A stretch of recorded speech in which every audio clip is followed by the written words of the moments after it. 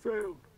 The gun is in my hand. Sorry. I'll make it next time. She talking about sorry. You almost. How the, who the hell? Who, huh? The purge. With us, kid. For what? And that's what you do.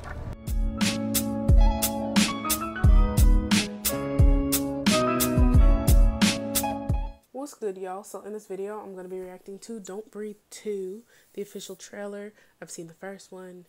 Um, it was cool. It was like nasty, but it was cool.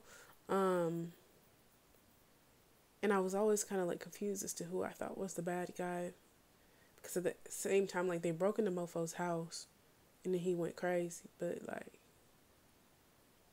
I don't know. Anyways, let's get into this.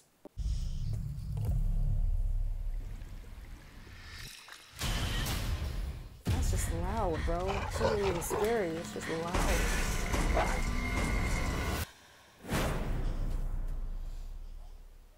Who are you?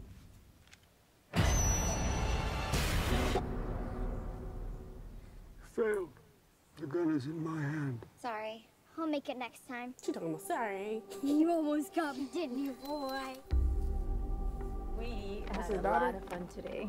I could take her again next week. No. Home safely. Oh, that, that's his daughter. Wait.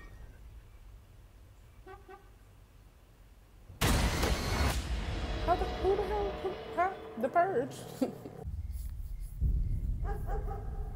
Shadow. What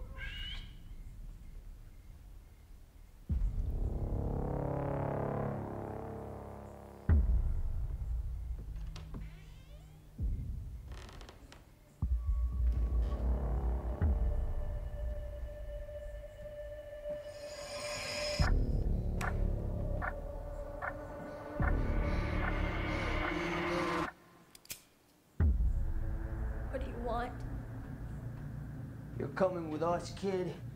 For what? And that's what you do. It's not me you need to be scared of, little girl, but the man standing next to you. Now, I don't know who he is, but I know who he's not. Should I tell her or you?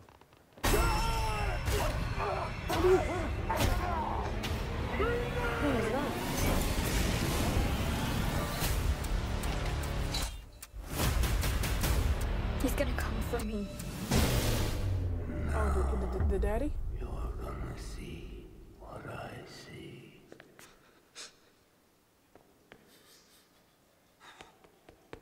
I don't see shit. That was the point, I guess. Hey, y'all know there's like a like a like a blind museum or something in New York? Like, never. mind.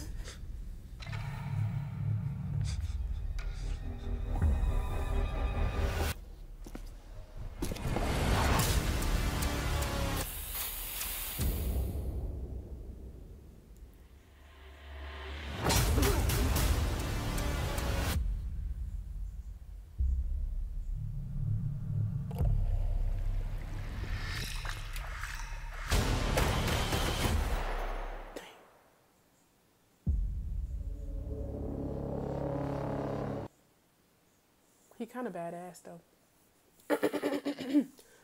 Did I mention I'm sick? Anyways, um, I might look at this, but like not in theaters because it's like no, I just don't want to. But I really have a hard time with scary movies in theaters. Like I saw it, it too, and to be honest, they're not that scary when you're not in the theater. Um, what else? I saw Halloween, the like the newest one. Um, watch that like Ouija movie. It's always harder in there just for the simple fact that it's loud, and on top of that, it's like a bunch of people that are also scared. And you know, sometimes it's like kind of y'all feed off each other's. Like if somebody screamed, then you scream, and you, I don't be fucking with it. So I probably would watch this just like when it comes out on DVD or on Netflix or some shit like that. Um, cause yeah. Nah, and it's I can already tell there's a lot of suspense. There was a lot of suspense in the first one. But like I watched that at like my ex's house, so like it won't as bad as it would have been. I've watched a lot of scare. Anyways, um, yeah, but it looked cool. Actually, it looked pretty cool. I just wonder where, like, if the first one is gonna tie in at all, like with the the other girl. Like, who's that little girl? I don't know. I'm a little confused, but um, I'm pretty sure if I watch the movie, I'll get the answers. Um, but anyways, y'all like, comment, subscribe, follow me on Instagram, follow me on Twitter, and I'll see you on the next one.